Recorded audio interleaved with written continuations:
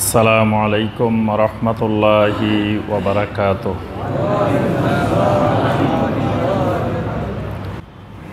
আমাদের যে সুরা থেকে আমাদের তাফসির চলছিল, সুরার নাম হলো কি? সুরা আল আনপাল সুরা আল আনপালের আজকে ছত্রিশ নম্বর আয়াতে কারিমা থেকে আমাদের তাফসির হবে, ইনশাআল্লাহ। এই সুরাটি মাক্কি সুরা নাকি মাদানী সুরা? এই সুরাটি মাদানী সুরা। এই সুরার মূল বিষয়বস্তু বদরের যুদ্ধ।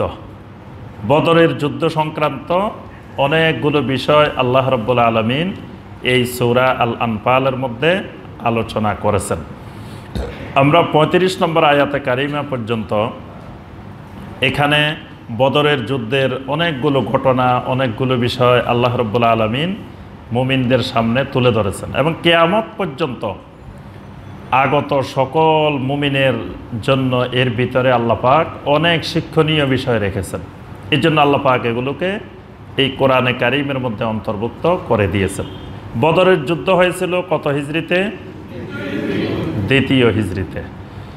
এটাই ছিল ইসলামের প্রথম সরাসরি বড় ধরনের জেহাদ ফিসাবিল্লাহ ছত্রিশ নম্বর আয়াতে কারিমা থেকে আল্লাহ রব্বুল্লা আলমিন যে বিষয়টি তুলে ধরছেন, সেটি হলো এর আগে আল্লাহ পাক মুমিনদের অবস্থা বর্ণনা করেছেন। আর ছত্রিশ নম্বর আয়াতে কারিমা থেকে আল্লাহ রব্বুল্লা আলমিন কাফেরদের কিছু বৈশিষ্ট্য, কাফেরদের কিছু সিফাত আল্লাহ রব্বুল্লা আলমিন বর্ণনা করছেন। আল্লাহ পাক বলেন, ইন্নাল্লাযীনা কাফারু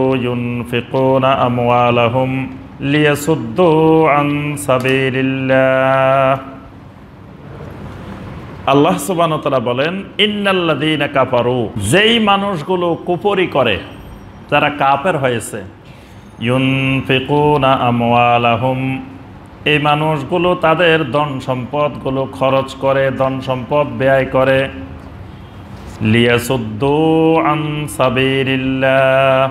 আল্লাহর রাস্তা থেকে মানুষদেরকে প্রতিবন্ধকতা সৃষ্টি করার জন্য মানে কাফেরদের ধন সম্পদ আল্লাহর দিনের প্রচার প্রসারে খরচ হয় না। খরচ হয় কিসের জন্য? আল্লাহর দিনকে কীভাবে বাধাগ্রস্ত করা যায়, আল্লাহর দিনকে কীভাবে প্রতিবন্ধকতা তৈরি করা যায়, মানুষকে আল্লাহর রাস্তা থেকে অন্যদিকে সরিয়ে নেওয়া যায়, এই উদ্দেশ্যে কাফেরদের ধন সম্পদগুলো ব্যয় হয়, খরচ হয়। فسينفقونها ثم تكون عليهم حسرة ثم يغلبون আল্লাহ রব্বুল আলমিন বলেন অতীতের কাফেরা যেমন এই কাজটাই করেছে আল্লাহ রাস্তায় বাধা দেওয়ার জন্য তাদের সম্পদ খরচ করেছে ফাসাইউন ফেকোনাহা ভবিষ্যতেও কাফেরা এই কাজটাই অব্যাহত রাখবে মানে কেয়ামত পর্যন্ত কুপ্পারেরা মমিনদেরকে আল্লাহর রাস্তা থেকে, মানুষকে আল্লাহর রাস্তা থেকে সরানোর জন্য তাদের ধন সম্পদ ব্যয় করতেই থাকবে। সুম্মা তাকুন আলাইহিম হাসারাতান, এই ব্যয় করতে করতে এক সময় তাদের ভিতরে ক্লান্তি চলে আসবে। মানে মুমিনদেরকে বাধা দিতে দিতে আল্লাহ রাস্তায় প্রতিবন্ধকতা সৃষ্টি করতে করতে মানে এক সময় তাদের ভিতরে একটা স্থবিরতা চলে আসবে, ক্লান্তি ভাব চলে আসবে। মানে আর কত করব? এরপরেই তারা পরাজিত হবে। এরপরেই কুপ্পারেরা পরাজিত হয়ে যাবে। ওয়াল্লাদিনা কাফারু ইলা জাহান্নামা ইউহশারুন, আর কাফেরদেরকে আমি জাহান্নামের দিকে একত্রিত করে নিব। মানে হাসরের ময়দানটা হবে, তাদের একত্রিত করার ময়দানটা হবে জাহান্নাম। কাফেরদেরকে জাহান্নামে একত্রিত করা হবে। লিয়ামিজ আল্লাহুল আল্লাহ রব্বুল আলমিন পবিত্র জিনিস থেকে, পবিত্র ব্যক্তিদের থেকে, খাবিজদেরকে সেদিন আলাদা করে নেবেন।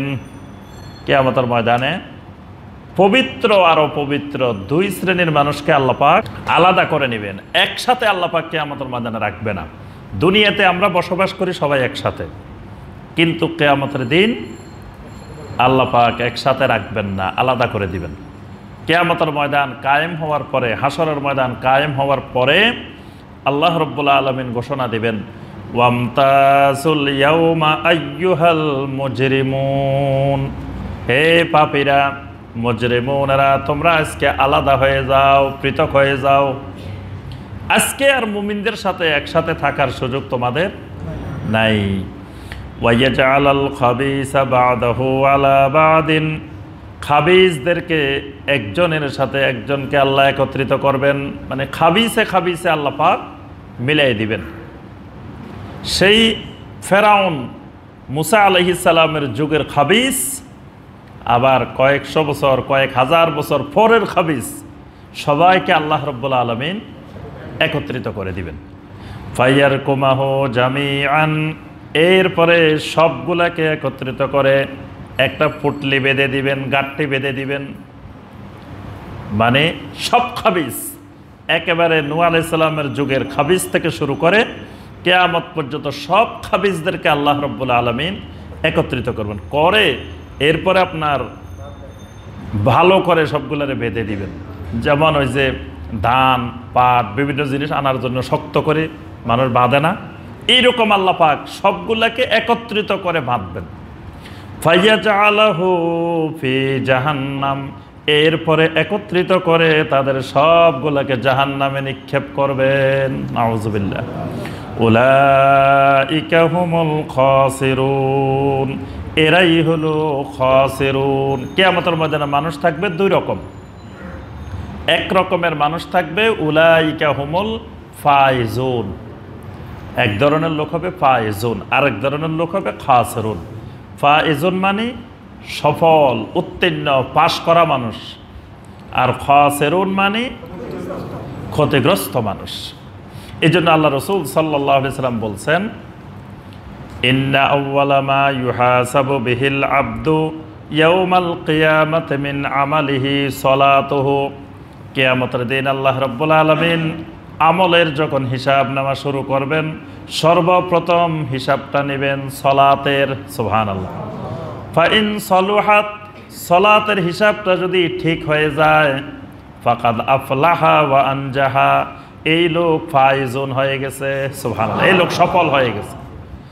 ওয়া ইন ফাসাদাত, যদি সলাতের হিসাবের মধ্যে গন্ডগোল দেখা দেয়, সমস্যা দেখা দেয়, ফাকাদ খাবা ওয়া খাসেরা, খাবা ওয়া খাসেরা মানে এই লোক খাসেরুন হয়ে গেছে, ক্ষতিগ্রস্ত লোকের অন্তর্ভুক্ত হয়ে গেছে। তাহলে সলাদ ঠিক হইলে ফাইজুন সলাদ ঠিক না হইলে খাসরুন। তাহলে কেয়ামতের ময়দানে মানুষের শ্রেণীভাগ এই দুইটা ফাইজুন আর খাসেরুন। আসহাবুল জান্না আর আসহাবুন নার। এই জন্য আপনার কেয়ামতের ময়দানে ফাইজুন আর খাসেরুন। এই দুই শ্রেণি আল্লাপাক একসাথে রাখবেন না, দুই শ্রেণীকে আলাদা আলাদা করে দিবেন। আচ্ছা সলাৎ না থাকলে খাসেরুন কেন হবে? সলাৎ না থাকলে খাসেরুন এই জন্য হবে কারণ সলাৎ এমন একটা আবাদত এটা ছেড়ে দিলে অন্য কোনো আমলে কোনো কাজ হয় না। মান তারাকা সলাত আল আসরে ফাকাদ হাবে তা আমালু।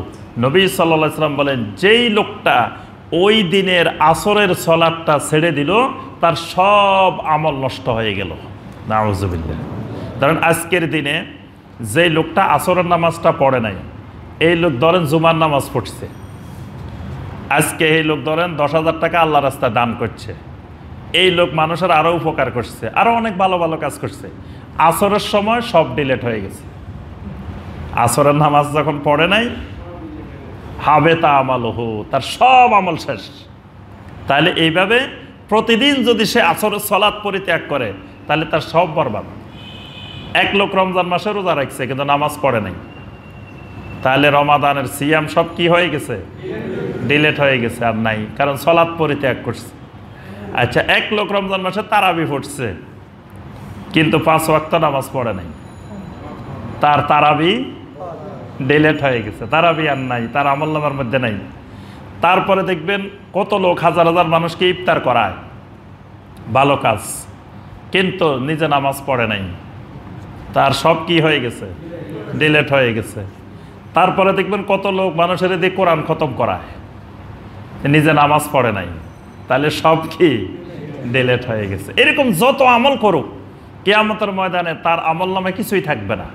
এই জন্য আল্লাহ রসুলাম সলাতের সাথে শুধু এই কথাটা বলছেন যে, ওয়াইন ফাসাদাত ফাকাদ খাবা ওয়া খাসেরা। যার সলাৎ ঠিক হয় নাই সলাৎ ফাসাদ হয়ে গেছে, এই লোক খাসেরুন হয়ে গেছে। কারণ তার আমল নামে আর কিছুই নেই। এজন্য অন্য আমল ছেড়ে দিলে এরকম আমল সব নষ্ট হয় না। কিন্তু সলাদ ছেড়ে দিলে অন্য আমলও সব নষ্ট হয়ে যায়। কিন্তু আমাদের আফসোস, আমাদের সমাজে ব্যাপক আকারে মুসলিমেরা কি করছে? সলাদ ছেড়ে দিছে। কয়, লোকটা নামাজ না পড়লে কি বল লোকটা ভালো মানুষ। এরকমও বলে না নামাজটা পড়ে না, এমনি লোকটা ভালো। তো যে নামাজ পড়ে না, সে ভালো হয় কেমনে? সে যদি ভালো মানুষও হইতো, সে আল্লাহর হক আদায় করতো, সে আল্লাহর সাথে দুর্নীতি করতো না। সে মানুষের সাথে দুর্নীতি করে না, ভালো কথা, কিন্তু সেটা আল্লাহর সাথে দুর্নীতি করে। তাহলে যিনি সলাৎ কায়েম করে না, তিনি ভালো মানুষও হইতে পারেন না, তিনি খসেরুন। এই জন্য দেখবেন অনেক মানুষ অনেক আমল করে, অনেক ভালো ভালো কাজ করে, কিন্তু সলাৎ কায়েম করে না। এই সলাৎ কায়েম না করার কারণে তার সব আমল বরবাদ হয়ে যাবে। আবার কেউ কেউ দেখবেন সলাৎ কায়েম করে না, কিন্তু এমনি হানাফি বলে যে আমি হানাফি, আমি সাফি আমি মালিকি, আমি হাম্বলি। তো যিনি নামাজও নাই, তার আবার হানাফি সাফি কি?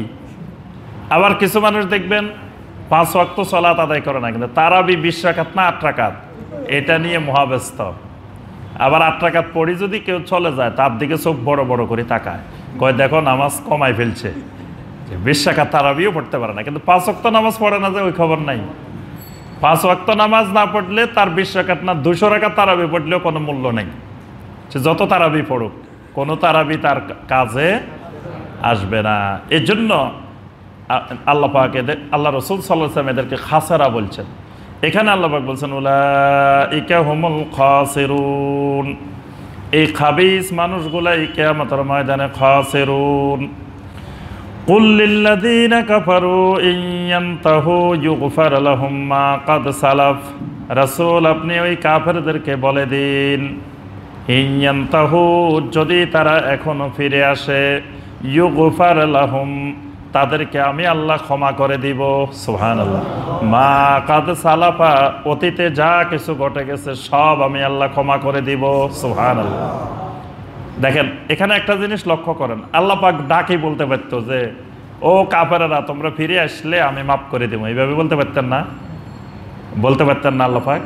কিন্তু আল্লাহ পাক ওইভাবে বলেন নাই। বলছেন কি কুল্লিল্লাদিনা কাফারু। রাসূল, আমি ওই কাফেরদেরকে বলতে চাচ্ছি না, আপনি বলে দেন। আল্লাহ পাক দেখবেন, কোরআনে অনেকগুলা জায়গা এরকম আছে। এটা খেয়াল করবেন, এই জায়গাগুলো। আল্লাপাক নিজেই অর্ডার দিয়ে বলতে পারতো, ইয়া ইউহাল্লা দিনা কাফারু, হে কাফেরা তোমরা ফিরে আসো, আমি মাফ করে দেবো। বলতে পারতেন না? যেমন আল্লাপাক আমাদেরকে ডেকে বলছেন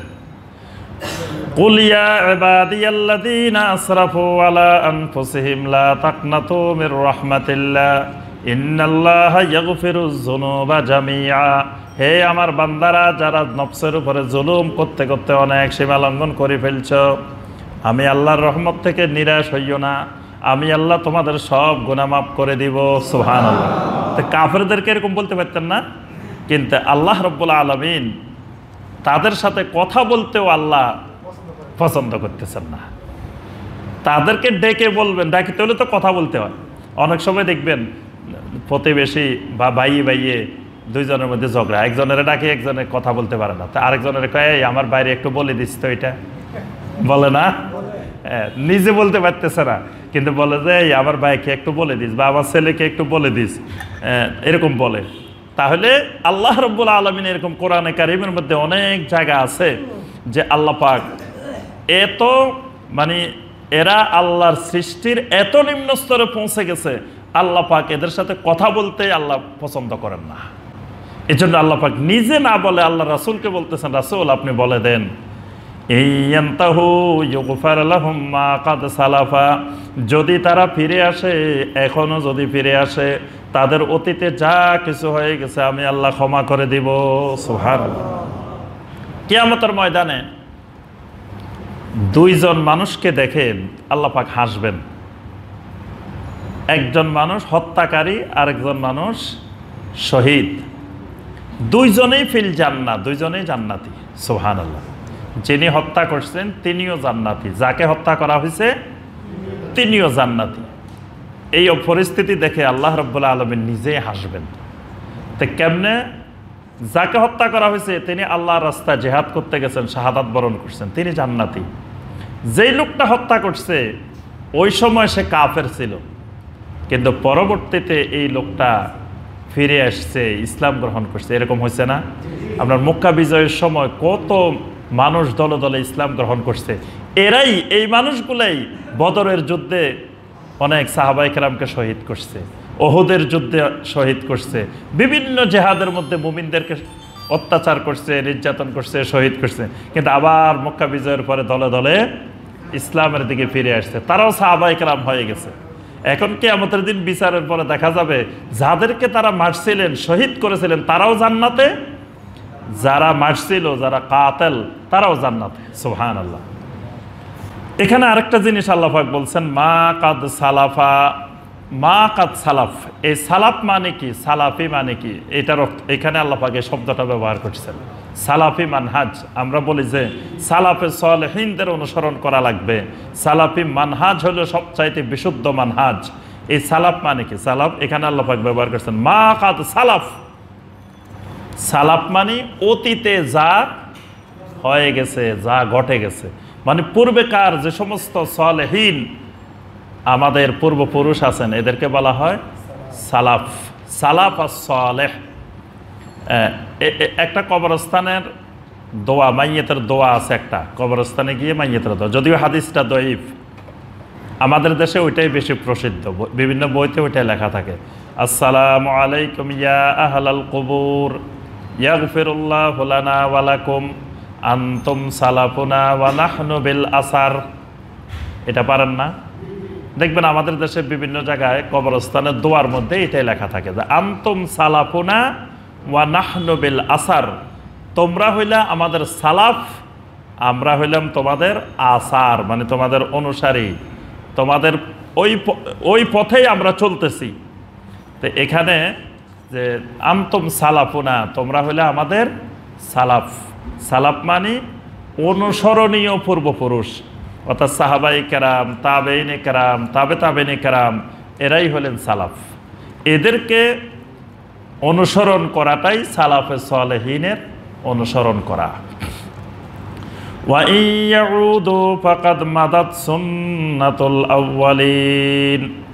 যদি কাপেরা ফিরে না আসে ওয়াইয়াউদু, যদি তারা আবারও আগের মতোই থাকে, ফাকাদ মাদাত সুন্নাতুল আউ্বালিন তাহলে পূর্বপুরুষদের সাথে যেই নিয়ম, যেই সুন্নত আমি আল্লাহর কার্যকরী হয়েছিল, সেটা তাদের উপরেও কার্যকরী হবে।